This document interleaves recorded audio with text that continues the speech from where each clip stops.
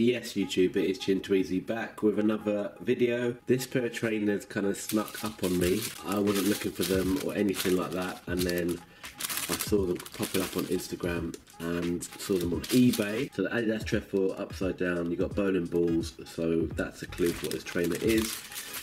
It is the Adidas Kegler. Never owned these before. I've only got one pair of Adidas, actually two, but I'm selling a pair at the moment. And these are a size exclusive. They're Kegler Super. I don't know what that says. Something white, burgundy, co navy, etc. Originals UK 11, um, usually UK 10 or 10 and a half. But Adidas come up a little bit tight, so you would have to go half a size or size up with Adidas. You can see the box there, the same thing over with the bowling balls and that. So they're a little bit different from the norm. Most Adidas boxes are blue that I'm aware of and then have white where this is burgundy. So you can see that all over. These are a size exclusive and a really nice pair from what I can tell.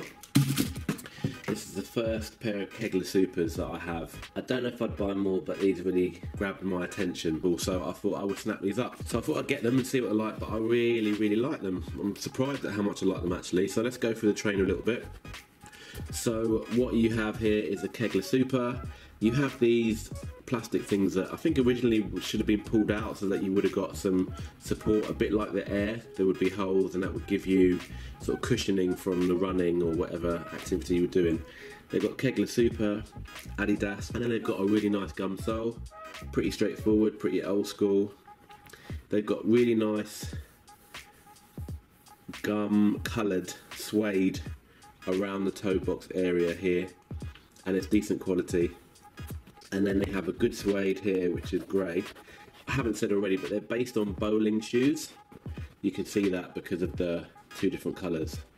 So you've got this burgundy colour here and I'm not sure which bits are synthetic and which are real suede but it feels decent quality. It feels decent quality to me. So that's burgundy on that side. You have this white strip around here and then you have this sort of greyish slightly off-white grey I would say suede there. Then you go on the, the lateral side and you have navy. And then they've got that line down the back which is mainly burgundy and 79 on the back. So if you put the two trainers together you get 1979 and I don't know what the reference is. I will look that up. Or someone put that in the comments please? Inside Adidas and then the tongue is a bit like the old school kind of football tongues that you used to get. It's really light. It's not the strongest point, but I've never had this trainer before, so I don't know how it compares to other versions. But yes, it's kind of flimsy, almost like the old football boots that I used to remember having. Then you got the white laces. So, for me, a really good pickup. I'm really happy with them. I think they're not my usual type of trainer. Not that I necessarily have a usual type, but I'm usually a runners guy. Runners and Jordan 1s.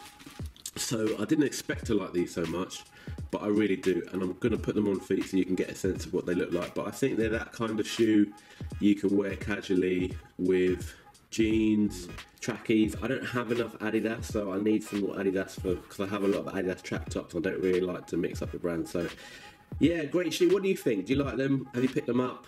Are you a big fan of the Kegler Super? Let me know in the comments. I'll put it on feet, but peace and love. Please subscribe if you like. Give it a thumbs up if you like the video. It's good to sort of reach out to like-minded uh, trainer heads. So peace and love.